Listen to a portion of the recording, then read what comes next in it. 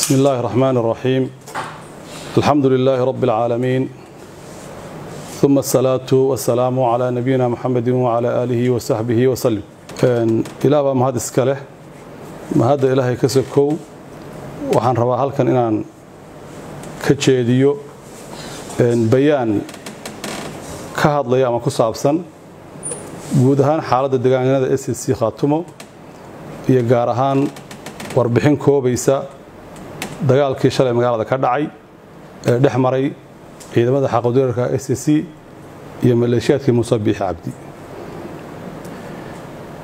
Intaan warbixinteeda gudagelin waxaan jeclahay dad fara badan oo birmigeyda ah oo deegaanka u dhashay oo rag iyo dumarba leh baa ku waxyeeloobay duulaankii qaawanaa ee muuse iyo rajiimkiisu ay ku soo qaadeen deegaanada SSC waxaan halkan tacsi uga dirayaa dhammaan eheladii dadkii ku waxyeeloobay duulaankaas uu soo qaaday muuse biixi ee ku dhintay dagaalkii beerhka ah ee uu kala hortegey dadkii bannaanbaxayaasha ahaa ama ku dhintay duqayntii isdabajoogga ahayd ee muddada siddeedda bilood oo muuse ka waday magaalada lascaanood. Waxaan leeyahay intii ku dhimatay ilahay ha u naxariisto intii ku dhaawacantayna ilahay subxana watacala ha u booga dhayo intii ku barakacdayna iyagoo badqaba ilaahay subxana wa tacala ha ku soo celiyay guryahoodii oo aamin ah. Shalayto waxaa dhacay dagaal. Dagaalkaasi wuxuu ka dhacay magaalada lascaanood wuxuuna ku fiday dhul dhan masaafo boqol kilomitir ah. Dagaalkaas masaafada intaa le ka dhacay sababtiisa waxaa lahaa muuse biixi cabdi. Waayo muuse biixi cabdi muddo siddeed bilood ah buu dagaal ku waday iyo duqayn magaalada lascaanood iyo hareeraheeda. Muddada intaa leeg muuse wax waan waana waa diiday. Haddii la yidhi xabadda jooji oo soomaaliya dowladaha deriska beesha caalamka iyo waxgarad kale oo soomaaliyed ba isku dayeen muuse biixi cabdi waa diiday inuu duulaankaa qaawan iyo tacdiyada uu joojiyo. Tacdiyada muuse uu sida isdabajoogga u waday waxaa ka dhashay in dadka degaankaahi ay go'aansadeen inay tacdiyada muuse iyagu gacmahooda ku joojiyaan. Sidaa daraaddeed shalayto dagaal baa ka dhacay saldhiggii uu ka deganaa degaanka kan ee gooja cadde.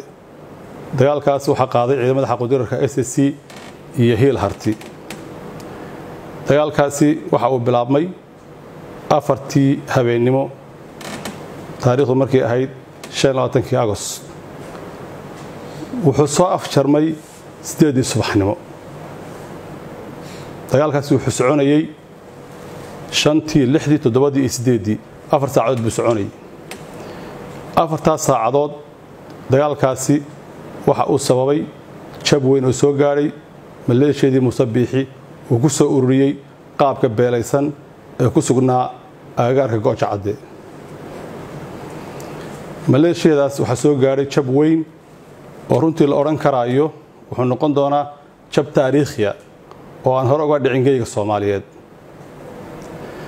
Ciidan ciidan labiiyo soddon sannood la ururinayey la tababarayey oo lagu barbaarinayey nacaybka iyo gumaadka dadka deegaanka kan baa meeshaa ku sugnaa. Dadkana dulqaad fara badan ay sameeyeen kadib waxay go'aansadeen in ay joojiyaan gacmahooda ku joojiyaan muuse caqliga iyo garashadu waa ka maqan tahay waxa uu garanayaana waxay ahayd inuu wax dilo oo wax burburiyo.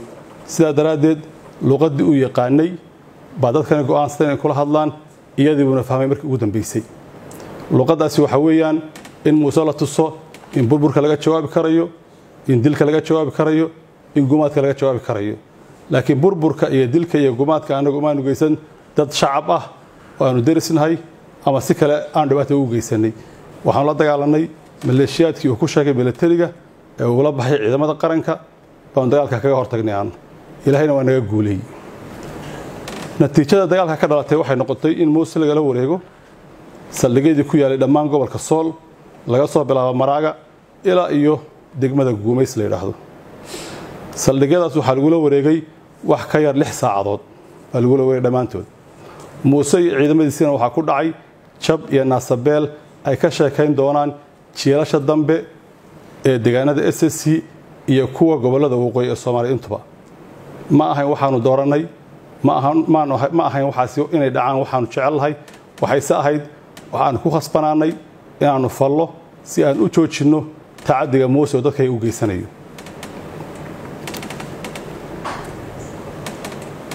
Dagaalkaas ciidamada s s c ee xaqudirarka ah waxay ka soo hoyeen guulo waaweyn oo la taaban karayo oo ay ugu horayso in laga sifeeyey degaanadii oo dhan maleeshiyaadkii muuse biixi sidoo kale muuse biixi waxaa lagu sameeyey wax loogu yeedhi karayo dabka dhigis ama hubka dhigis.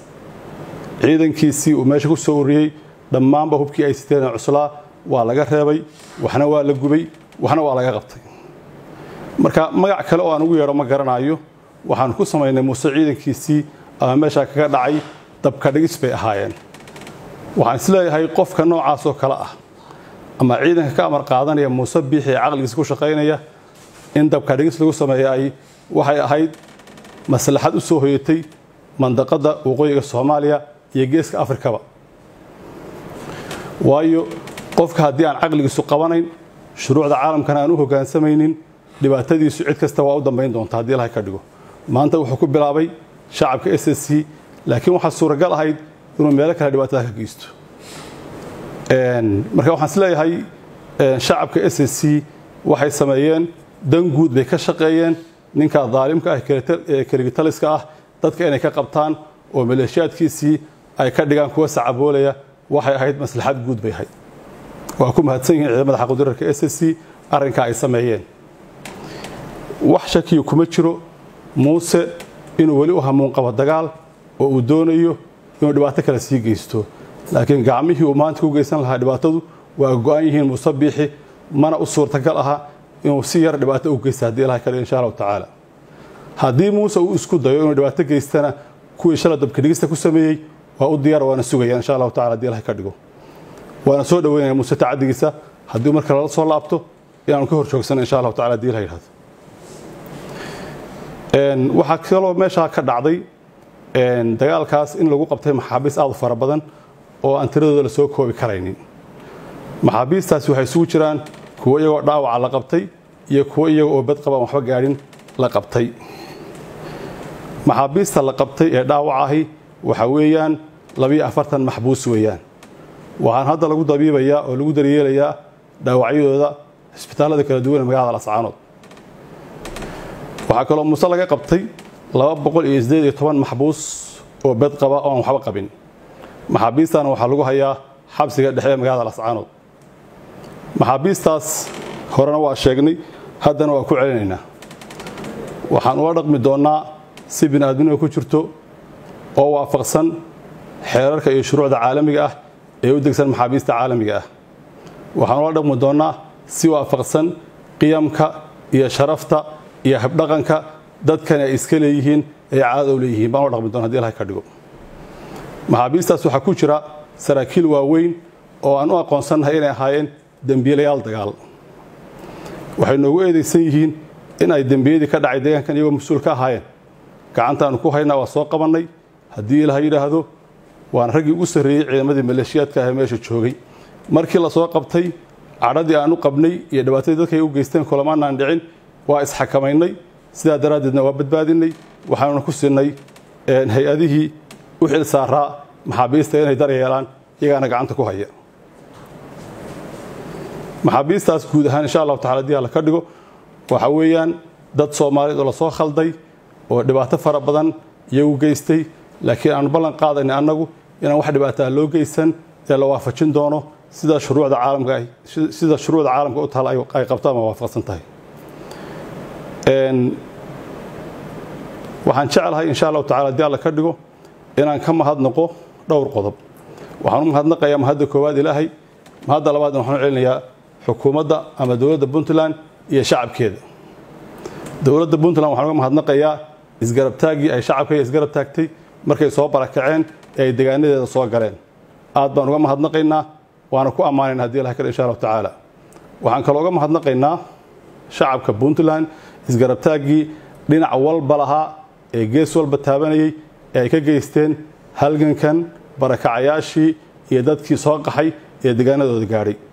Uga mahadnaqana iyagan haddii ilahay ka dhigo. Waxaan leenahay magiciin ha jiro insha allahu tacala haddii ilahay ka dhigo. Waxaan kaloo mahadnaqayga ku xusayaa dowladda federaalka ah ee hogaaminayaan madaxweyne xasan sheekh maxamuud iyo ra'iisul wasaare xamse cabdi bare dowladda federaalka ah waxaan uga mahadnaqaynaa gargaarkii isdabajoogga aha ee la soo gaadhay barakacayaashii ka kacay ka barakacay laascaanood waxaan kaloo uga mahadnaqaynaa dhaawacyadii xamar ay geysay ee ay damaanad qaaday ama kafaalo qaaday daweyntooda. Waxaan kaloo uga mahadnaqaynaa dowladda federaalka ah riixitaankii ay riixday ama ay waafaqday qaraaraadkii ka soo baxay golaha ammaanka ee jimciyadda ka dhexaysa ee lagu caddeeyey muuse biixi inuu geysanayo tacadiyo isla bar ahaantaana loogu sheegay inuu joojiyo. Inahaas iyo ina kaloo fara badanba dowladda federaalka waa ku ammaanayn haddii ilahay ka dhigo waan uga mahadnaqaynaa haddii ilaha yidhahdo beesha caalamka waxaan uga mahadnaqaynaa dadaaladii isdabajoogga ahaa ee ay u galeen sidii colaadan iyo xabaddan loo joojin lahaa. Inkasta oo dadaaladaas oo dhan ay ka joogsadeen ama ka xanimeyn ama ay madaxa ku dhufteen diidmadii iyo madax adaygii muuse biixi cabdi. Waxaan kaloo u mahadnaqayaa dowladda etoobiya oo iyaduna qayb lixaad leh ka geysatay sidii mandaqada tan nabad loogu soo dabaali lahaa isla markaana loo joojin lahaa colaadda muuse uu huurinayo iyaduna waxay dhaafi weyday vitogii ama diidmadii muuse biixi cabdi. Cid kasta oo isku dayday in ay nabad ka hesho muuse ma soo dhoweynin muuse ma soo dhoweynin dowladda federaalka waxay soo dirtay odayaal dhaqan intaasoo bilood bay fadhiyeen hargeysa muuse waa qaabili waayey. Markii ugu dambaysayna waa ka diiday qorshihii nabadeynta ay wadeen marka muuse wuxuu ahaa mar hore iyo mar dambeba dad nin ku dheeraad ah mandaqadda iyo degaanka in la qabtana ay waajib tahay. Ilaahay subxana wa tacala waa noo fududeeyey waa qabannay waana iska saarayaan wixii uu ka diiday beesha caalamkana annagaa ku khasabnay oo ka saaray degaankayaga nabad lagu joogaa degaankayaga maanta. Waxaan rabaa insha allahu tacala haddii ka dhigo inaan halkan ka sheego.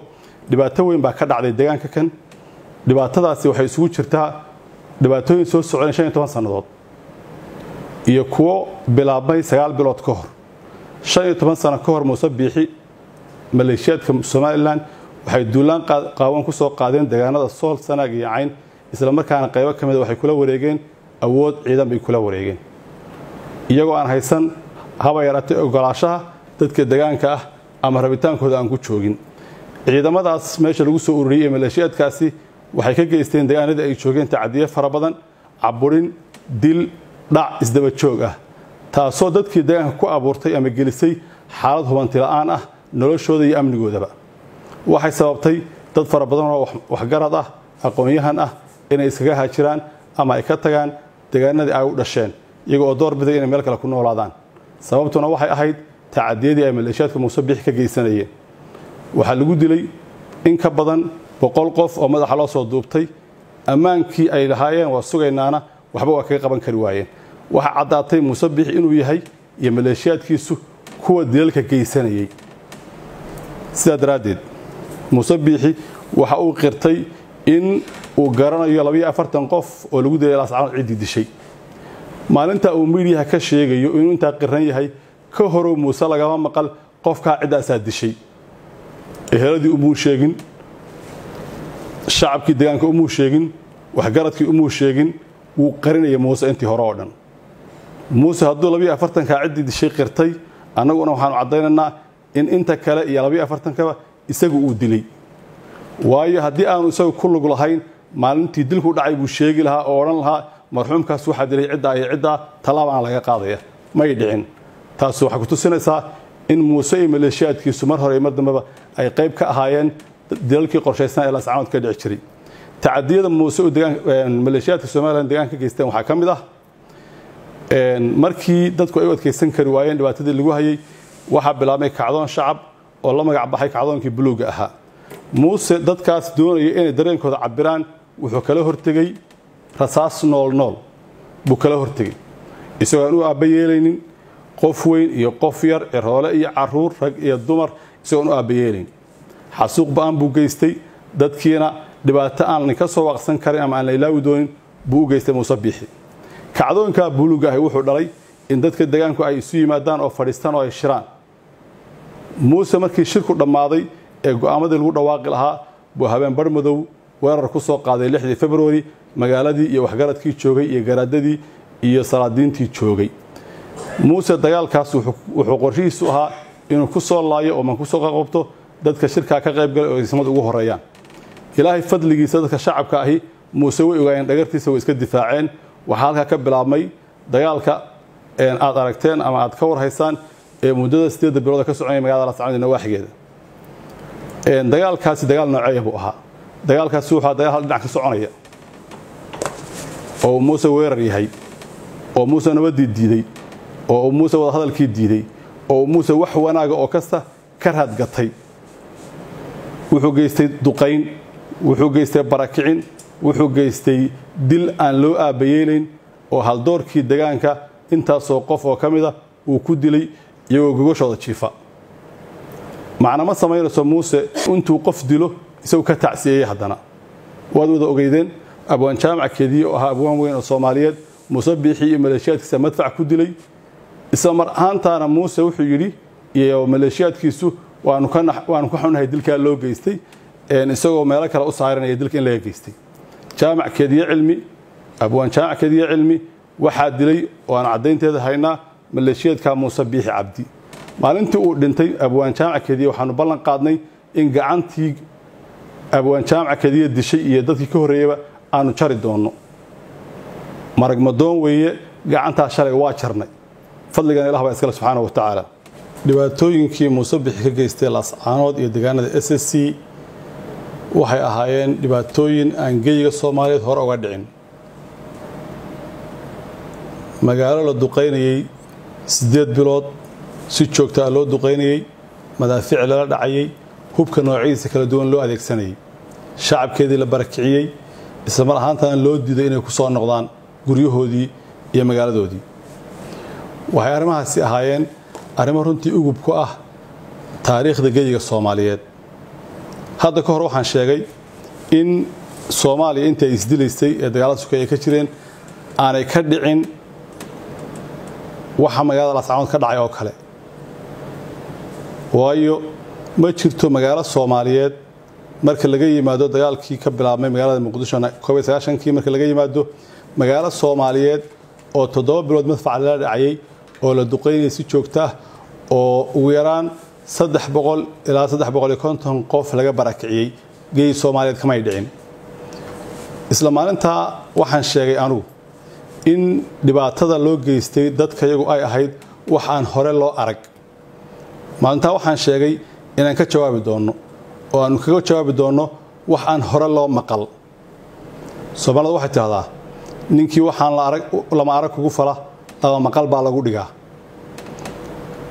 Waxaan ballan qaadnay in jawaabteedu ay noqon doonto midaan hore loo maqlin. Waxaan ku faraxsanahay oo aan aad iyo aad ugu kalsoonahay in jawaabteeda ay noqotay waxaan hore loo arag oo aan hore loo maqal. Hore looma maqal in gaadiid dagaal oo boqol iyo konton gaadhi iyo gaadiid dagaal in hal goob lagu qabsado hore ugamay dhicin geyga soomaaliyeed in maxaabiis soomaaliyeed oo tiradoodu kor u laba boqol iyo konton maxbuus lagu kala qabsaday.